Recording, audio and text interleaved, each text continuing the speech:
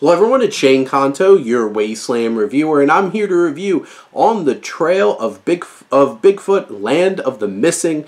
This is the latest from Small Town Monsters and Seth Breedlove as they continue their journey looking into cryptids and specifically Bigfoot. And this takes place in Alaska and really focusing on a lot of unsolved kidnappings and missing people.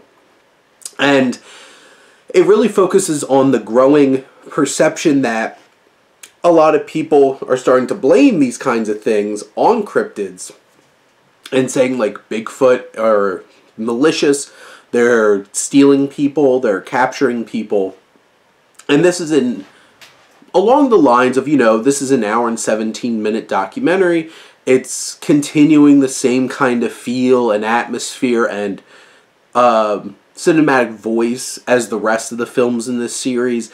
And these are some of the more, I think, I think the more, more, more accessible of Seth Breedlove's films in terms of like, I feel like everybody knows about Bigfoot kind of thing. And this particular one, I think towards the beginning, there's some perspectives that were shared that I felt were a little aggressive towards like other animals and stuff like that in terms of like how dangerous they were. But yeah, they did talk about moose and they're dangerous. They'll mess you up. Um, but it's very interesting. This continues a good trend of they find the best people to talk about their experiences because they always tend to be like good storytellers.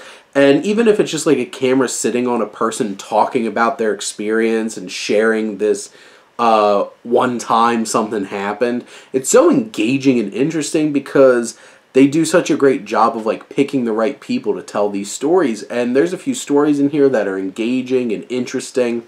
This particular film, you know, moves well. It has its very specific focus on the context of Bigfoot and trying to look at the more negative perceptions of what Bigfoot can be in terms of much more dangerous and malicious tricksters trying to like trap people, trying to capture them.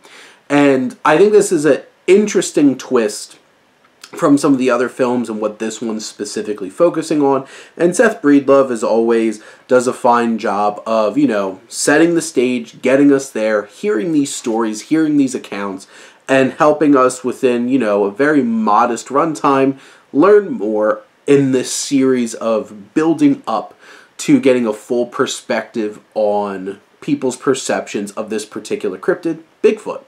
And, you know, through the whole entire movie and all the other Bigfoot trail, on the trail Bigfoot movies, they keep making the joke that I am one.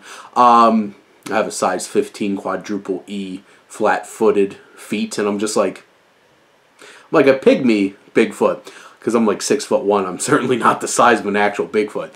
But I feel like this film does, like I said, it shows up, it sets the stage, what it's talking about. We get these good, well told accounts of these different things.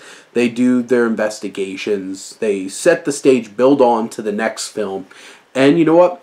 I'm excited to keep going on the trail of Bigfoot, and this was a really good addition to the series. But those are my thoughts on Land of the Missing. Let me know what you think, and let's talk some movies. But thank you as always for tuning in and supporting your Wasteland Reviewer.